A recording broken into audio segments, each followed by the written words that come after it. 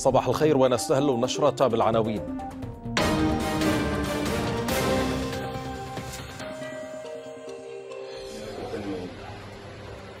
في إنجاز جديد ستة أسرى فلسطينيين ينجحون في التحرر من سجن جلبوع ومصادر إسرائيلية تقر.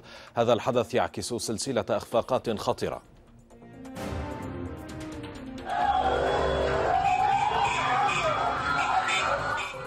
ترحيب فلسطيني واسع بتحرر الأسرى والجهاد الإسلامي تقول للميادين هو عمل بطولي كبير سيحدث هزة شديدة للمنظومة الأمنية الإسرائيلية.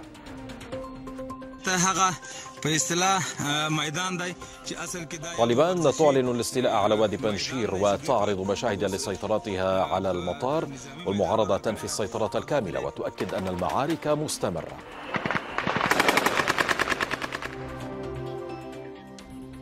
كتائب حزب الله العراق تتهم المخابرات السعودية والإماراتية بإدارة عناصر داعش والبشمركة بتسهيل حركة الإرهابيين في كركوك ونينوى. إجراءات تطبيق اتفاق درع البلد القاضي بخروج المسلحين ودخول الجيش السوري إلى المنطقة تبدأ اليوم. لم يمض أسبوعان على الضربة القوية التي تلقاها الاحتلال على السلك الفاصل الحدودي في قطاع غزة حتى حقق الفلسطينيون إنجازا آخر من خلال نجاح ستة أسرى في التحرر من سجن جلبوع قرب بلدة بيسان.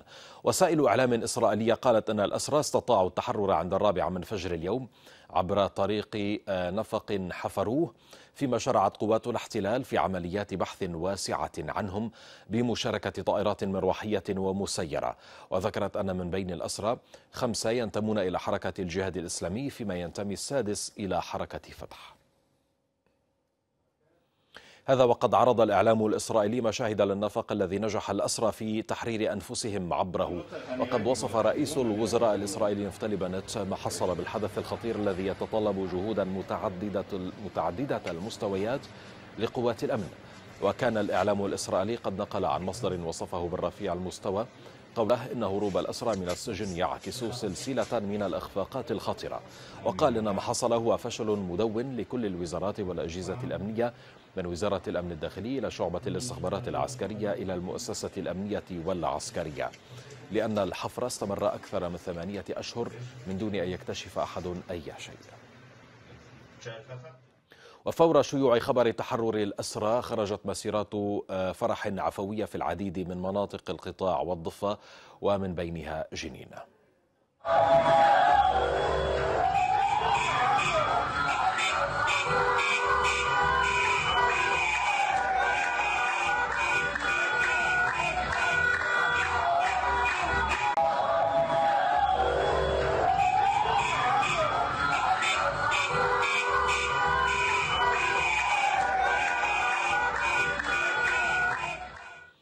هذا وقد لقي إنجاز الأسرى ترحيبا فلسطينيا واسعا وقالت مصادر في الجهاد الإسلامي للميادين أن هذا الإنجاز عمل بطولي كبير. سيحدث هزة شديدة في المنظومة الأمنية والجيش والنظام في الكيان الإسرائيلي مضيفة أن تزامن العملية مع الضربة القوية التي تعرض لها الاحتلال منذ أسبوعين على السلك الفاصل مع غزة سيعمق الفشل والعجز الإسرائيلي. وأكدت الحركة أن القوة والإرهاب الصهيونيين لن يفلحا في كسر الإرادة الفلسطينية ولن يجهضا سعي هذا الشعب نحو الحرية. إلى ذلك أكد القيادي في حركة الجهاد الإسلامي مهر الأخرس للميادين أن الأسرى الذين نجحوا في التحرر من سجن جلبوع كانت لديهم محاولات سابقة مشيرا إلى أنهم بنجاحهم استطاعوا دوس الأمن الإسرائيلي. أنا عشت معهم هذه الشخصيات وكل الأسرى الذين هربوا. كنت عايش عشت معهم عدة سنين في هذه السجون وفي نفس هذه الغرف. دائما التفكير كيف سيتخلصون من هذا السجن. حاولوا عدة مرات الهروب ولكن كانت تفشل في آخر لحظة ولم يقدر الاحتلال حتى أن يعرف منهم أنهم حاولوا الهروب. ومن مدة قصيرة فقط من ثلاث سنوات هم خرجوا من العزل الشديد. ووضعوهم في سجن جلبوع المشدد الحراسة الذي لا يمكن لإنسان التخيل أن يقدر على الهروب منه. هناك طبقات حديد شديدة وهناك فولاذ مقوى لا تقطع فيه أي مادة إلا أن ذكاء هؤلاء تمكنوا من خرق هذه التحصينات الصهيونية والنجاة والدوس على الأمن الإسرائيلي. بدورها حركة حماس أشادت بإنجاز الأسرى رغم كل الإجراءات والتعقيدات الأمنية. الناطق باسم حركة حماس فوزي برهوم شدد على أن هذا عمل بطولي شجاع وانتصار لإرادة وعزيمة الأسرى الأبطال. وتحد حقيقي للمنظومة الأمنية الصهيونية التي يتباهى الاحتلال بأنها الأفضل في العالم. وأكد أن هذا الانتصار الكبير يثبت أن إرادة وعزيمة الفدائي والمقاوم والمجاهد لا يمكن أن تقهر وتهزم مهما كانت التحديات وأن العدو لم ولن ينتصر أبدا مهما امتلك من الإمكانات وأسباب القوة. بدورها أكدت حركة المجاهدين الفلسطينية أن تحرر الأسرى من سجن جلبوع وهو هو نصر كبير يعبر عن الإرادة والعزيمة لدى الأبطال الفلسطينيين. وقالت الحركة إن هذا التحرر المبارك يحمل بشرى التحرير القادم للأسرى الآخرين كافة مضيفة أن هذا النصر يفضح مزاعم العدو الصهيوني حول قوته وقدراته الأمنية والاستخبارية.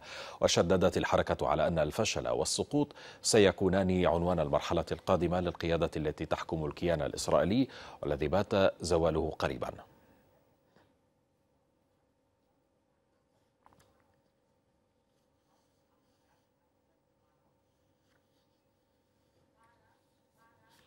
وينضم إلينا من بيت لحم مدير مكتب الميادين في فلسطين المحتلة ناصر اللحام. ناصر صباح الخير.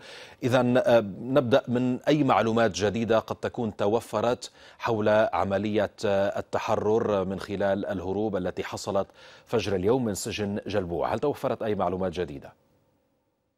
واضح تماما آه، أحمد بأنه العملية الميكانيكية انتهت بمعنى خرجوا من آه، الأسر حرروا أنفسهم خرجوا من الدوائر الأمنية كلها المحيطة دوائر السجن دوائر خارج السجن دوائر الأمن في المستوطنات ودوائر الحواجز العسكرية بين المدن الفلسطينية وأنهم وصلوا إلى غايتهم التي لا يعرفها أحد. اثنين أن إسرائيل الآن انتقلت من الملاحقة إلى العملية الاستخبارية وإن كانت مروحيات وإن كانت الجيش بمئات الوسائل الاستخبارية ما بين كلاب وجواسيس ومتابعه ومراقبة التليفونات وإغلاق المناطق الفلسطينية حواجز كل هذا موجود الآن لكن واضح إنه الآن العملية استخبارية.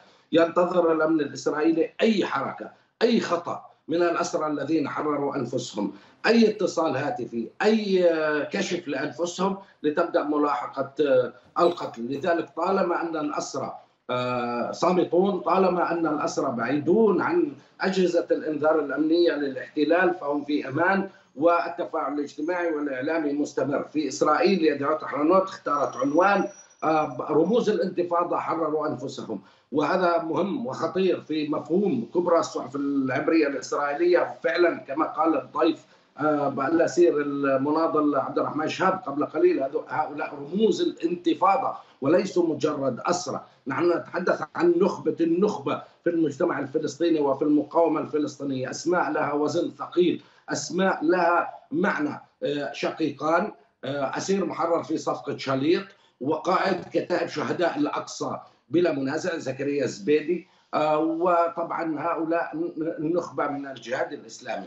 الآن العملية استخبارية كما في ملاحقات سابقة. نقول إعلاميا طالما أن الأسرى لا المح... الذين حرروا أنفسهم لم يتصلوا ولم يستخدموا التواصل الاجتماعي أو الهاتف ابتعدوا عن دوائر الاستخبارات الإسرائيلية هم في أمان. الاحتلال سينتظر خطأ. وطبعا هذا موضوع الآن داخلي مناكفات سياسية بين نتنياهو ونفتالي بنت تحميل مسؤولية من الأجهزة الأمنية الإسرائيلية وموقف الإعلام الفلسطيني حذر آه، لا يسعى لمعرفة أي شيء لأنه أيضا وسائل الإعلام الفلسطينية تكون تحت الرقابة بالذات أي اتصال ما بين غزة والضفة الغربية هو مراقب بسنترال تجسسي كامل لا يوجد نعم. أي اتصال بأي طريقة بالتواصل الاجتماعي بين غزة والضفة إلا يخضع لفلترة المخابرات الإسرائيلية نحن أمام مشهد آه، تماما لكل استعمار كابل خاص به.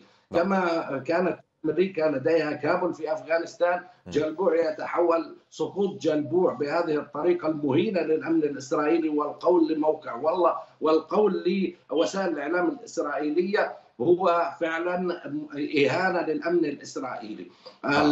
التفاصيل التفاصيل أحمد سأختصر كثيرا. فإسرائيل اليوم تقول هذا فشل أمني قومي بالنسبة لإسرائيل والحواجز بالذات على جنين جنين جراد كما وصفها ياسر عرفات جنين التي كل يوم تفاجئ الشعب الفلسطيني ببطولات أكثر وأكثر. ناصر لو سمحت ابقى معنا. سينضم إلينا الآن القيادي في حركة الجهاد الإسلامي من غزة السيد أحمد المدلل. سيد أحمد صباح الخير وأهلا بك معنا في هذه آه، النشرة. اذا آه، هذه العملية البطولية اليوم التي نفذها الأسرى آه، عبر تحررهم من سجن جلبوع. بداية ماذا تقولون عن هذه العملية وما عن ما أنجزه الأسرى فجر اليوم؟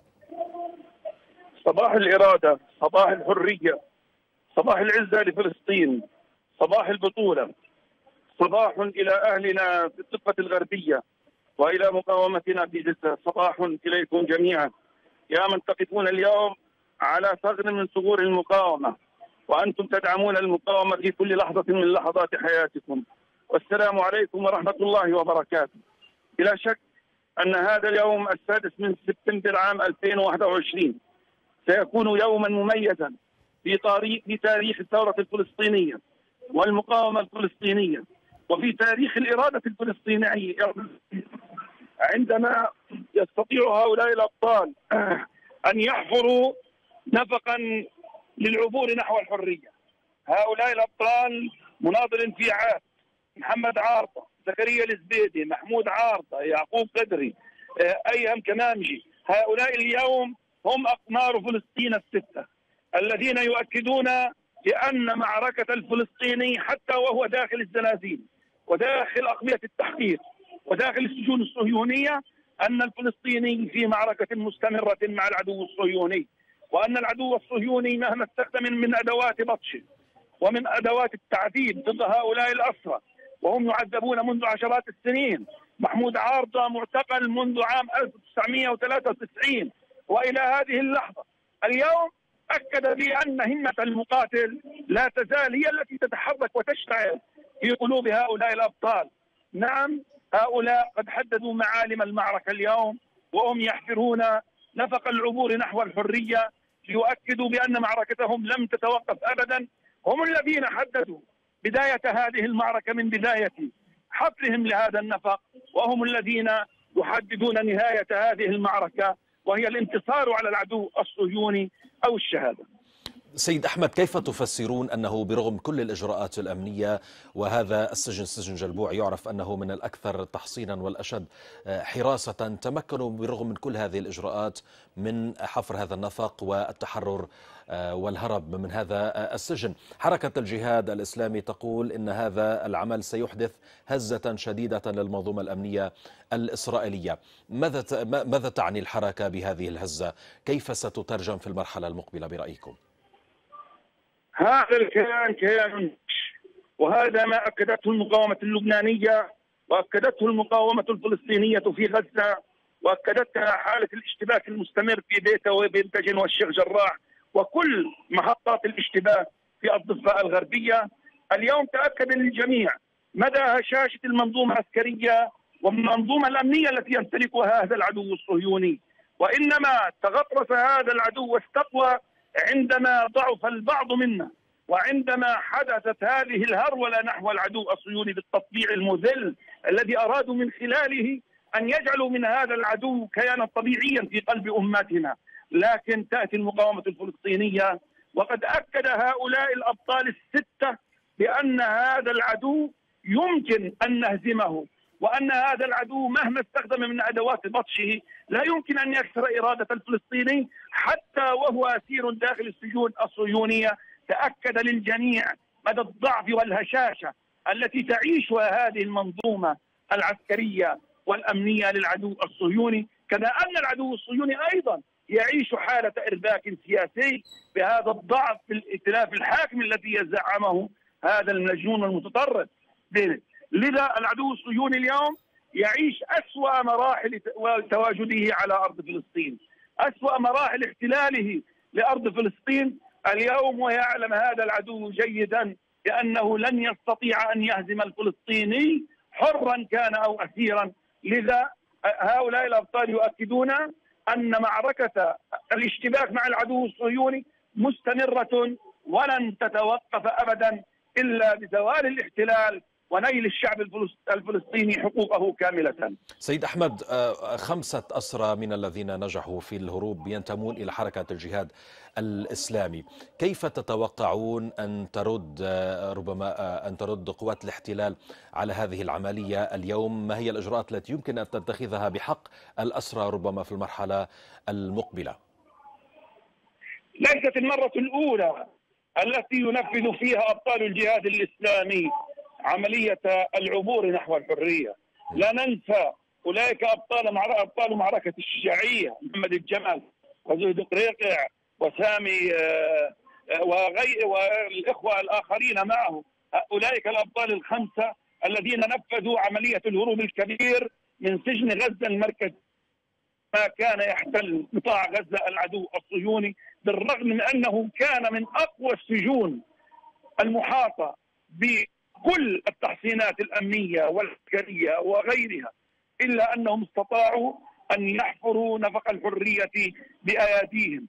اليوم هؤلاء الأبطال الستة وخمسة منهم من الجهاد الإسلامي ومعهم البطل زكريا الزبيدي يعيدون الكرة من جديد على هذا العدو الصهيوني مهما فكر هذا العدو الصهيوني من الرد على حركة الجهاد الإسلامي وعلى حركات المقاومة. إن تهديداته لن تضيرنا شيئا ولن يستطيع أن يكسر إرادة الجهاد الإسلامي ولا المقاومة الفلسطينية. تهديداته إنما هي فقاعات في الهواء. لن تؤثر على المقاومة ولا على الجهاد الإسلامي. ولن, تنك ولن تكسر إرادة الجهاد الإسلامي وأبطال الجهاد الإسلامي. وأبطال شعبنا جميعا. سيد أحمد قبل نحو أسبوعين آه، إصابة قناص إسرائيلي برصاصة آه، فلسطينية من مسافة آه، صفر. واليوم الأسرى الفلسطينيون ينجحون بالتحرر وحفر نفق والهروب من خلاله من سجن جلبوع. هل بتنا أمام مرحلة تستمر فيها الإنجازات إنجازات المقاومة الفلسطينية؟ هذه معركة متكاملة.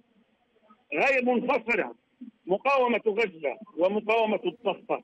هذا البطل الذي كسر المنظومة العسكرية الصهيونية من خلال الاشتباك على حدود على السلك الزائد بيننا وبين أراضينا في 48 وأكد بأن هذا العدو عدو ضعيف ويمكن أن نكسره وأن نزيله عن أرضنا.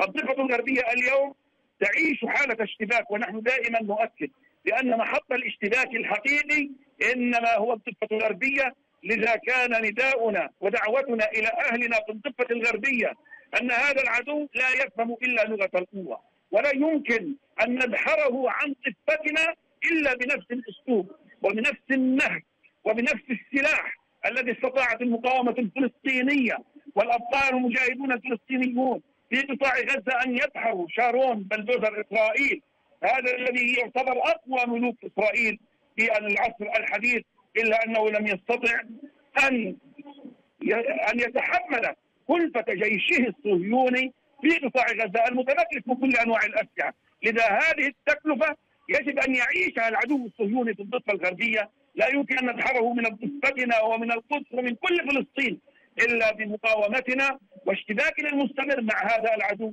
لأنه لا يستطيع أن يتحمل ضربات المقاومة كما دحرت المقاومة اللبنانية من جنوب لبنان. شكرا جزيلا لك سيد أحمد المدلل القيادي في حركة الجهاد الإسلامي. كنت معنا من غزة. وأيضا ينضم إلينا من غزة مراسل ميادين أحمد غانم. أحمد مرحبا. هل من معلومات جديدة توفرت حول هذا الإنجاز اليوم للأسرى الفلسطينيين؟ هل هناك ردود فعل جديدة تصريحات جديدة في غزة؟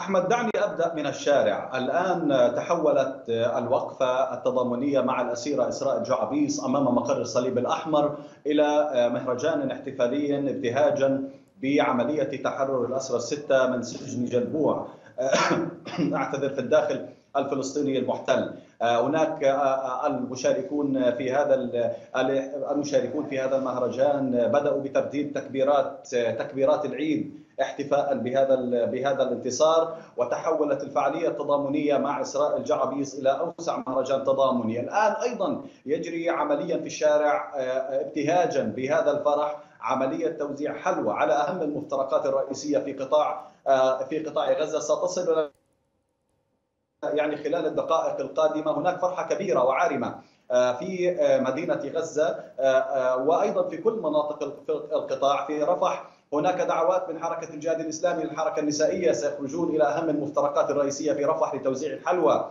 ابتهاجا بهذا الموضوع. مفترق السرايا واحد من أهم المفترقات الرئيسية في غزة. في شارع عمر المختار سيشهد أيضا أوسع عملية احتفال وتوزيع حلوى على المشاركين في هذا الابتهاج على كل حال الفصائل الفلسطينية لم تتوقف منذ الصباح عن إرسال بياناتها أو تصدير بياناتها التي تؤكد يعني تؤكد أن هذا أن هذه العملية هي عملية انتصار كبيرة للفلسطينيين وإنما انتصارا للإرادة الفلسطينية وأن كل أشكال الضغط وأن كل أشكال الحصار وأن كل المنظومة الإسرائيلية الأمنية المشددة لن تفلح على الإطلاق في يعني كبح جماح إرادة الأسرى الفلسطينيين. اليوم الفصائل تؤكد بأن هذه العملية هي ضربة أمنية للجيش الإسرائيلي ومنظوماته المعقدة الاستخبارية التي يعني تتابع لحظة بلحظة. هؤلاء الأسرى في واحد من أكثر السجون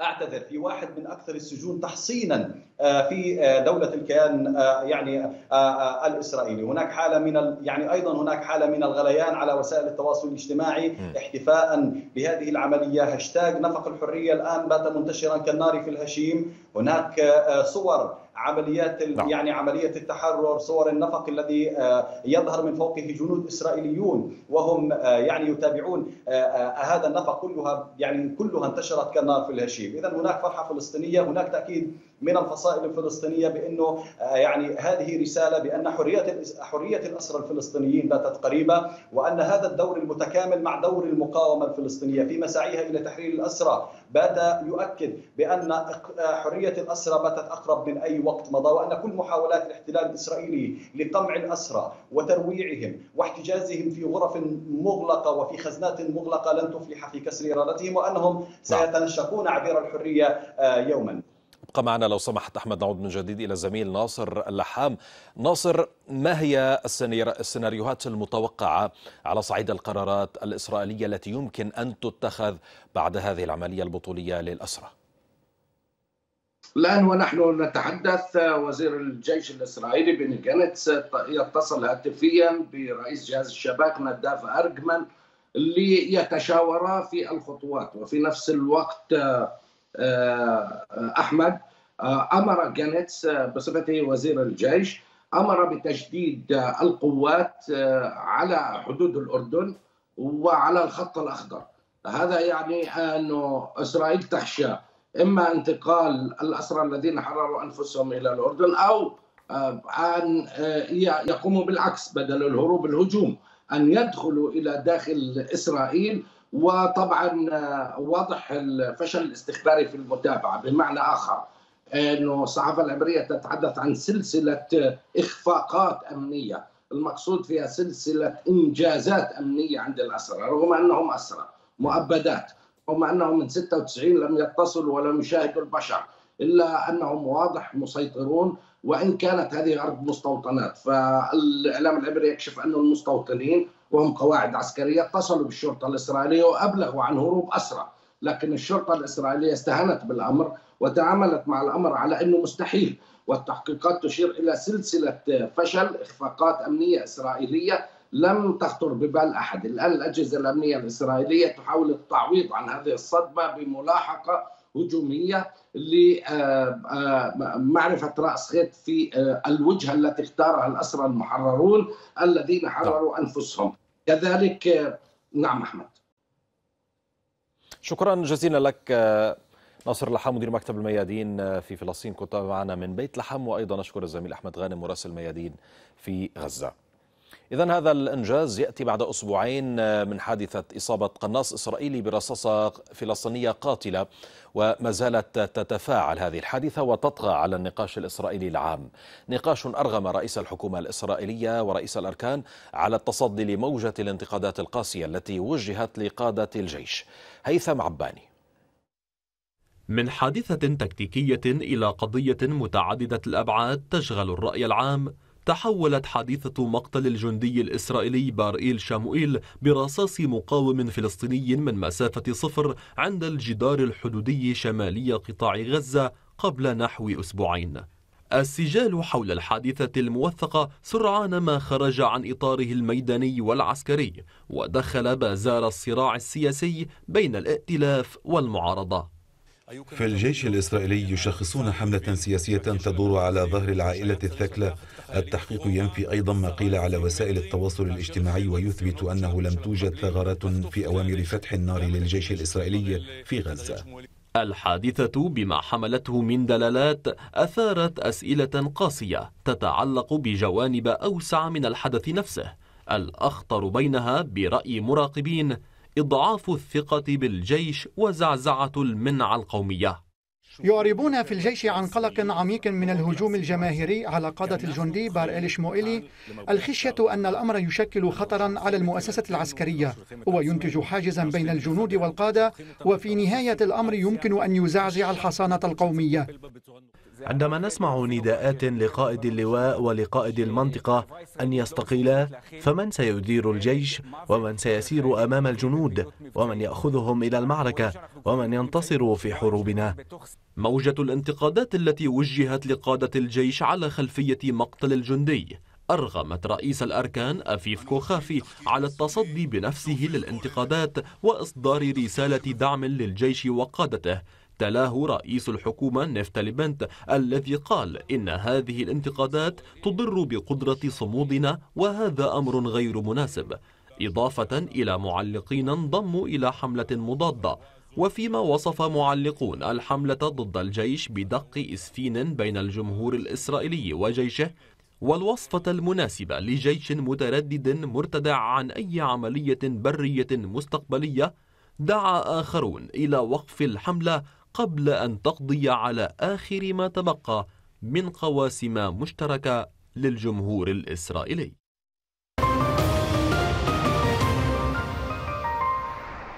إلى أفغانستان حيث نفت المعارضة ما أعلنته حركة طالبان من سيطرة كاملة على وادي بنشير وأكدت المعارضة أن المعارك لا تزال مستمرة.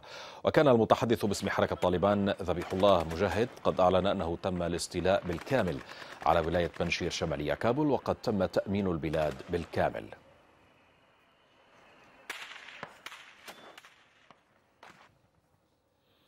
هذا وقد عرض طالبان مشاهد قالت أنها لسيطرتها على المطار في وادي بنشير واستيلائها على مروحيات قتالية. هغه په اصطلاح میدان دی چې اصل کې دا یو ورزشي میدان دی چې دوی په اوس په نظامی میدان بدل کړی أو دا درې وكان قياديان معارضان بارزان للطالبان قد قتلا في معارك ولاية بنشير. هما القائد العسكري الجنرال عبد الودود الذي كان سابقا مساعدا للقائد الأفغاني الراحل أحمد شاه مسعود. والعضو في جبهة المعارضة والمتحدث باسمها فهيم دشتي. انضم إلينا من كابول الكاتب والصحفي الدكتور بشير أحمد موحد. دكتور بشير صباح الخير واهلا بك معنا في هذه النشرة. اذا حركة طالبان تقول إنها سيطرت بالكامل على وادي بنشير وهذا ما تنفيه المعارضة وتؤكد أن المعارك لا تزال مستمرة. هل فعلا المعارك لا تزال مستمرة هناك؟ أه تحياتي الطيبة لكم ولمشاهدينا الميادين. أه نعم أه اعلنت الحركه طالبان بأنها استولت على كل البنشير الوادي بنشير ولكن هذا تم رفض هذا الخبر من قبل الأعضاء المقاومة الشعبية في داخل الوادي بنشير بأنها صرحوا بأن الوادي أو ولاية بنشير تتكون من من 22 واديا ونحن حاليا في في داخل هذه الوادي ولكن المقاتلين الحركه حاليا فقط موجودا في الشوارع. يعني لم تسيطر حركة حركة طالبان بشكل كامل على وادي بنشير. هذا هذا ما تود قوله. نعم نعم. حاليا ما استولت على كل الوادي بنشير لأن تتكون البنشير من من 22 واديا ولكن حاليا فقط يعني استولت الحركة طالبان على كل مقاطعات والمديريات التي في داخل ولاية في داخل وادي بنشير. طيب إذا المعارضة تقول أن المعارك لا تزال مستمرة هناك. لو يمكن أن تحدثنا أكثر عن إمكانيات أو قدرات المعارضة العسكرية في وادي بنشير مقارنة طبعا مع قدرات العسكرية لحركة طالبان.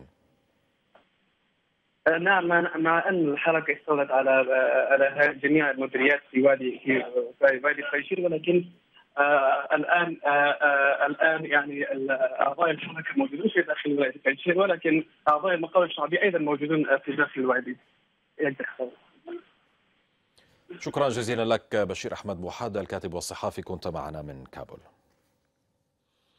ناقشت دول جوار أفغانستان تطورات الأوضاع هناك خلال اجتماع افتراضي. ضم ممثلين لعدد من الدول منها الصين، إيران، طاجكستان، تركمانستان وأوزبكستان برئاسة الممثل الخاص لأفغانستان في باكستان السفير محمد صادق. وبحسب تغريدات لصادق تم تسليط الضوء على أهمية تطوير نهج إقليمي لمواجهة التحديات المشتركة واغتنام الفرص لتحقيق الاستقرار في أفغانستان. وأكد أن أفغانستان مزدهرة ومسالمة ستوفر قوة دفع للتكامل الاقتصادي والروابط القوية بين الشعوب والتجارة المعززة والترابط الإقليمي.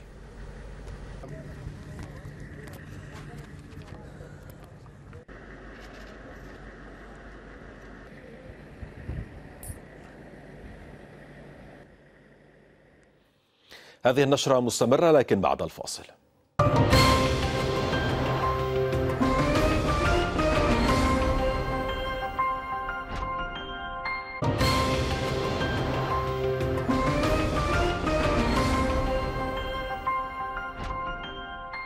أهلا بكم من جديد. أفادت مراسلة الميادين في سوريا بموافقة اللجنة المركزية وممثلي العشائر في حيدر على البلد على العودة إلى الاتفاق مع اللجنة الأمنية والجانب الروسي. الاتفاق يقضي بتثبيت حواجز عسكرية داخل أحياء درع البلد وتسليم الأسلحة إضافة إلى إجراء تسوية لأوضاع المسلحين المحليين وإخراج الرافضين للاتفاق. ومن المفترض أن تبدأ الإجراءات اليوم في حال لم تعاود المجموعات المسلحة وقيادتها الانقلاب على الاتفاق. أكد الرئيس السوري بشار الأسد أن سوريا ستبقى داعمة للشعب اللبناني على مختلف الأصعدة مشددا على ضرورة تمتين العلاقات بين البلدين كي لا تتأثر بالظروف المحيطة. موقف الأسد جاء خلال استقباله وفدا لبنانيا ضم رجال دين ووجهاء من طائفة الموحدين الدروز حيث اعتبر أن أعضاء الوفد يمثلون وجه لبنان الحقيقي الذي يؤمن بأهمية العلاقة مع سوريا. بدوره أكد الوفد اللبناني أن العلاقة مع دمشق هي علاقة وجودية وتاريخية.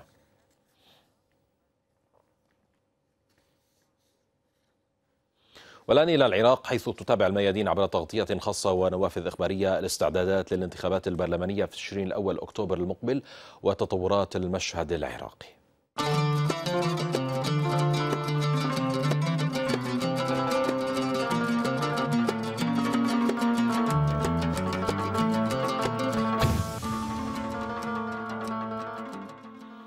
استشهد مسؤول القوة العسكرية بجرف النصر في انفجار عبوة شمال بابل بحسب ما أعلنت قيادة عمليات الجزيرة في الحشد الشعبي. من جهته قال المسؤول الأمني لكتائب حزب الله العراق أبو علي العسكري أن عصابات تنظيم داعش تدار بشكل مباشر من الاستخبارات السعودية والإماراتية. وأضاف العسكري أن الفشمركة تسهل في كركوك وأطراف نينوى حركة العصابات الإجرامية وعملها. هيئة الحشد الشعبي قالت في بيان لها أن العملية الغادرة الجبانة لفلول داعش تؤكد ضرورة مواصلة الجهود الأمنية لاقتلاع جذور الإرهاب في ناحية جرف النصر وأسفت لوجود ما وصفته ببعض الأصوات النشاز التي تتعالى بين فترة وأخرى لغايات لا تريد الخير لهذه الناحية. مؤكدة أنها ستواصل ضرب أوكار الإرهاب أينما وجدت.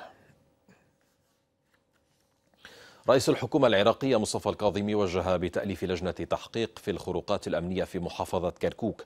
الكاظمي شدد على ضرورة تفعيل دور الأجهزة الاستخبارية وإيجاد آليات تنسيق فاعلة بين مختلف المؤسسات الأمنية والعسكرية لتجنب الخروقات. مؤكدا أن محافظة كركوك تمتاز بتنوعها وهناك ما يسعى إلى خلق فتنة ولا سيما أن العراقيين مقبلون على ما وصفه بالانتخابات المصيرية. إلى ذلك أنجزت مفوضية الانتخابات في العراق أغلب إجراءاتها الفنية واللوجستية الخاصة بإجراء الانتخابات في العاشر من تشرين الأول أكتوبر المقبل تقرير محمد الفهد. إجراءات مفوضية الانتخابات في العراق وصلت إلى مراحل متقدمة بحسب بياناتها فهي أكملت توزيع أكثر من 17 مليون بطاقة انتخابية بيومترية وإكمال فحص الأجهزة الإلكترونية وتعيين موظفين جدد وتوزيع أدوار المراقبين الدوليين فضلا عن الاستعدادات الفنية واللوجستية الأخرى. سخرت المفوضية جميع طاقاتها ومواردها لإنجاحها. وهي هنا توجه رسالة اطمئنان للشارع العراقي بأنها تحرص كل الحرص على نزاهة العملية الانتخابية باعتماد معايير الشفافية في عملها. القرار العراقي سياسيا وشعبيا بإجراء الانتخابات والحرص على نزاهتها يوحي بوجود توجه جدي لإصلاح النظام السياسي عبر تجربة القانون الانتخابي الجديد. الذي يؤمل أن يحدث تغييرا نسبيا في المعادلة السياسية السائدة هنالك اتفاق شعبي ومرجعي وحتى سياسي بالذهاب إلى الانتخابات والانتخابات هو الحل الأنسب لحل كل العقد السياسية التي تراكمت من 2003 ولحد الآن. امنيا تتحرك العمليات المشتركة بوتيرة متصاعدة لتطبيق الخطة الانتخابية التي ستأخذ مسارين. الأول خارجي لمواجهة تهديدات داعش والآخر داخلي لحماية المراكز الانتخابية وتوفير البيئة الآمنة خلال فترة الانتخابات. تحقيق التكامل بين مفوضية الانتخابات والأجهزة الأمنية والإرادة السياسية. ثلاثة عوامل إن تحققت فإن الانتخابات المبكرة ستجرى في أجوائها المناسبة التي نص عليها الدستور والقانون الانتخابي وفق ما يرى مراقبون. محمد الفهد بغداد الميادين. انضم إلينا من بغداد مراسل ميادين صلاح الخزاعي. صلاح صباح الخير. اذا هل توفرت أي تفاصيل جديدة حول انفجار العبوة شمال بابل والذي أدى إلى استشهاد مسؤول القوى العسكرية بجرف النصر؟ وهل هناك أي تطورات ميدانية جديدة؟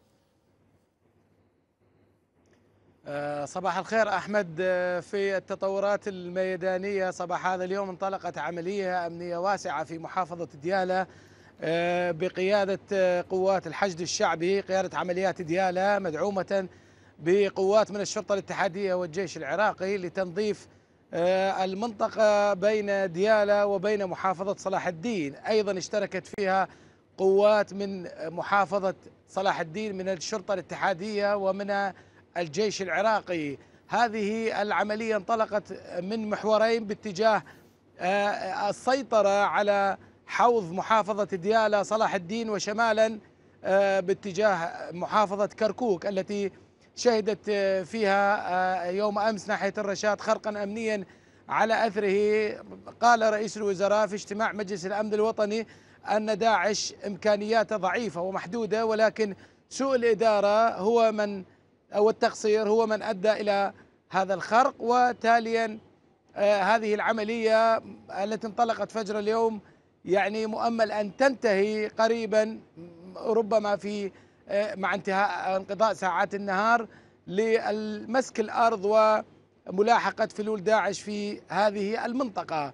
فيما يتعلق بالعبوة الناسفة التي انفجرت على نائب قائد قيادة قوات الجزيرة في الحشد الشعبي تقول المعلومات أن العبوة يعني هذه واحدة من المرات القليلة جدا التي تنفجر فيها عبوة في هذا المكان وبالتالي يعني أدت إلى ارتقاء نعم. الشهيد العمليات المشتركة عفوا عمليات الجزيرة في منطقة جرف النصر قامت بمسح المنطقة نعم صلاح. وإجراء عمليات تفتيش واسعة لملاحقة العناصر الذين يقومون بزرع مثل هذه العبوات في هذه المناطق. شكرا لك على كل هذه التفاصيل صلاح الخزاعي مراسل الميادين في بغداد.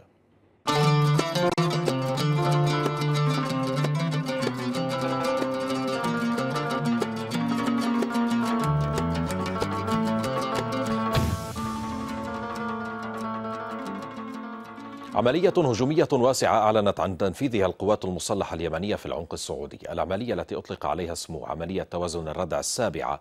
استهدفت المرة الثانية منشآت أرامكو في ميناء رأس تنورة بالدمام شرق السعودية إضافة إلى منشآتها في جدة وجيزان ونجران. تقرير أحمد عبد الرحمن. نفذت قواتنا المسلحة بعون الله تعالى عملية توازن الردع السابعة. بعملية سابعة عززت القوات المسلحة اليمنية عمليات ردعها المتسلسلة. عشر طائرات مسيرة من طراز صماد ثلاثة ومعها ستة صواريخ باليستية بدر وذو الفقار. نفذت العملية وغطت نيرانها الجغرافية السعودية من جنوبها في نجران وجيزان إلى شرقها في ميناء رأس تنورة بالدمام فغربها في جدة على سواحل البحر الأحمر. آه هي رسالة بأننا قادرون على الاستمرار للدفاع عن شعبنا حتى يرضخ هذا العدو للسلام. رسائل يمنية نارية جديدة على أكثر من اتجاه لتحالف الحرب. تأتي بعد أشهر من توقف رسائل ضاغطة كهذه إلى العمق السعودي. فيما تصر السعودية على تقديم نفسها كراغبة في السلام مع سعيها لفرض رؤيتها للحل بما يحفظ وصايتها على البلد الثائر أصلا على هذه الوصاية. اليوم تتم هذه العملية بعد أن تعثر هذا المدارس المسار السياسي وفي العمق الاستراتيجي الداخلي يكشف مدى ضعف وهوان هذه القدرات للمملكة السعودية واختراق أجواءها على مسافة بعيدة وهي كانت من أهم الرسائل. العملية وإن جاءت كما لو أنها نسخة لعملية توازن الردع السادسة قبل ستة أشهر وإن بعدد أقل من البالستيات والمسيرات برغم توسيع رقعة الاستهداف ليصل إلى مدينة جدة هذه المرة هي تكرس معادلة توازن الردع والرعب الاستراتيجي وتثبت تعاظم القدرات اليمنية الرادعة في العام السابع من العدوان والحصار المستمرين. باستهداف أكبر موانئ شحن النفط في العالم للمرة الثانية خلال نصف عام. تضع هذه العملية اليمنية الواسعة السعودية وحلفائها أمام خيارات صعبة ومعقدة كاشفة بوضوح فشل حربها وحصارها مؤكدة حق اليمنيين في الرد وتنفيذ المزيد من العمليات حتى وقف العدوان ورفع الحصار كليا عن وطنهم. أحمد عبد الرحمن صنعاء. الميادين. قال عضو المكتب السياسي لحركة أنصار الله محمد البخيتي إن اليمن يستمد شرعية قصفه ميناء رأس تنورة وشركة أرامكو في السعودية من مبدأ حق الدفاع عن النفس. وفي تغريدة على تويتر أكد البخيتي أن قوات الحركة ستستمر في القصف حتى وقف العدوان ورفع الحصار وانسحاب جميع القوات الأجنبية من اليمن. مضيفا أن على دول العدوان القبول بمبدأ السلام الذي يضمن كرامة وسلامة جميع دول المنطقة ويحترم سيادة واستقلال اليمن. أكد الرئيس الإيراني إبراهيم رئيسي في اتصال هاتفي مع الرئيس الفرنسي إيمانويل ماكرون عدم معارضة المفاوضات المفيدة شرط إلغاء العقوبات المفروضة على إيران. رئيسي أكد دعم بلاده تأليف حكومة لبنانية قوية قادرة على توفير حقوق الشعب اللبناني واستعداد حكومته للتعاون مع فرنسا في هذا المسار. من جهته أكد ماكرون ضرورة تعاون فرنسا وإيران إلى جانب حزب الله في لبنان لتأليف حكومة قوية وفاعلة. وفيما خص العلاقات الثنائية دعا ماكرون إلى إعادة النظر في العلاقات بين البلدين وتعزيزها على الصعود كافة. دخل المعارض البحريني عبد الجليل السنكيس أسبوعه التاسع من الإضراب عن الطعام احتجاجا على سوء المعاملة ومصادرة كتبه. وفيما تماطل السلطات البحرينية في الإفراج عنه رغم تدهور وضعه الصحي وحاجته إلى رقابة صحية مستمرة. تتوالى المطالبات الدولية والحقوقية بإطلاق سراحه من دون قيد أو شرط. في اتصال مع الميادين قالت رئيسة مرصد سلام للديمقراطية وحقوق الإنسان ابتسام الصايغ إن السلطات البحرينية تتجاهل المطالب الحقوقية والدولية بالإفراج عن المعتقلين السياسيين. الصايغ أكدت أن المعتقل عبد الجليل السنكيس يتعرض لسوء المعاملة من قبل سلطات المنامة. لم تستجب السلطات البحرينية لمطالب البسيطة التي هي مقفولة بالرغم من الكم الهائل من التوصيات وأيضا النداءات العالمية من منظمات حقوق الإنسان ومن أكاديميين دوليين طالبوا البحرين بالافراج عنه كما أنه يتعرض إلى سوء المعاملة وسوء المعاملة ليس هو من يتعرض لها فقط كما يتعرض لها العديد من السجناء وبالخصوص مبنى الرموز نعم. المعارضة. سوء المعاملة مستمرة بالرغم من الكم الهائل من التوصيات وأيضا مقررات ال UPR التقرير الشامل الذي صدر بخصوص البحرين من عدد من الدول أيضا من الاتحاد الأوروبي البرلمان الاتحاد الأوروبي. أعلن المجلس العسكري الذي استولى على السلطة في غينيا فرض حظر تجول في أنحاء البلاد. المجلس أكد أن الرئيس ألفا كوندي لم يتعرض للأذى وأن سلامته مضمونة وسمح له بالاتصال بأطبائه. وقال المجلس العسكري أنه استبدل حكام المناطق ليحل محلهم قادة عسكريون داعيا الوزراء ورؤساء المؤسسات المنتهية ولايتهم إلى اجتماع اليوم في البرلمان. مستلقيا على كنبة ومحاطا بالجنود ظهر الرئيس الغيني ألفا كوندي بمقطع فيديو يظهر اعتقاله رافضا الإجابة عن سؤال إن كان قد تعرض لسوء معاملة. قائد القوات الخاصة العقيد مامادي دومبويا أعلن تنحية الرئيس البالغ من العمر 83 عاما إضافة إلى حل الحكومة ووقف العمل بالدستور وإغلاق حدود البلاد. قررنا حل المؤسسات والحكومة وإقفال الحدود البرية والجوية ونتوجه إلى من يهمه الأمر إلى إكمال عملهم بشكل طبيعي. إذا هو انقلاب ينفذه عسكريون. دومبويا وهو العنصر السابق في الفيلق الأجنبي الفرنسي دعا العسكريين إلى البقاء في ثكناتهم محملا الحكومة مسؤولية تردي الأوضاع في البلاد وعدم احترام المبادئ الديمقراطية وتسييس المسائل الإدارية بالإضافة إلى الفساد. وزارة الدفاع الغينية كانت قد أعلنت تصدي الحرس الرئاسي لهجوم شنته قوات وصفتها بالمتمردة على القصر الرئاسي مؤكدة استعادة قوات الأمن للنظام فيما أدنت الأمم المتحدة بشدة أي استيلاء على السلطة في غينيا بقوة سلاح داعية إلى الإفراج الفوري عن الرئيس كوندي. ساعات الانقلاب الأولى شهدت إطلاقا كثيفا للنار في أنحاء متفرقة من العاصمة كوناري وضواحيها فيما جرى إغلاق الجسر الوحيد الذي يربط البر الرئيسي بحي كالوم الذي يضم معظم الوزارات والقصر الرئاسي. أعلنت السلطات الأمريكية ارتفاع عدد ضحايا إعصار أيدا في شمال شرق الولايات المتحدة إلى 50 قتيلا إضافة إلى عشرات المفقودين. حاكمة ولاية نيويورك أعلنت حالة الطوارئ في الولاية بعدما غرقت السيارات وخطوط الأنفاق وتم إلغاء رحلات الطيران. فيما صرح البيت الأبيض عن زيارة مرتقبة للرئيس الأمريكي جو بايدن لولايتي نيويورك ونيوجيرسي من أجل تقييم الأضرار الناجمة عن الإعصار.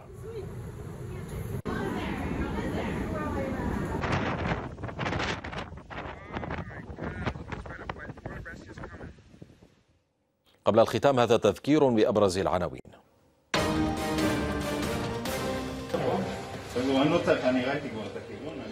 في إنجاز جديد ستة أسرى فلسطينيين ينجحون في التحرر من سجن جلبوع ومصادر إسرائيلية تقر.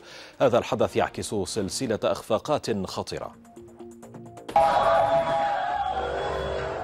ترحيب فلسطيني واسع بتحرر الأسرى والجهاد الإسلامي تقول للميادين هو عمل بطولي كبير. سيحدث هزة شديدة للمنظومة الأمنية الإسرائيلية. طالبان تعلن الاستيلاء على وادي بنشير وتعرض مشاهد لسيطرتها على المطار والمعارضة تنفي السيطرة الكاملة وتؤكد أن المعارك مستمرة. كتائب حزب الله العراق تتهم المخابرات السعودية والإماراتية بإدارة عناصر داعش والبشمركة بتسهيل حركة الإرهابيين في كركوك ونينوى. إجراءات تطبيق اتفاق درع البلد القاضي بخروج المسلحين ودخول الجيش السوري إلى المنطقة تبدأ اليوم. للمزيد من الأخبار والتقارير زوروا موقعنا على الإنترنت الميادين دوت نت باللغات العربية والإنجليزية والإسبانية. شكرا للمتابعة إلى اللقاء.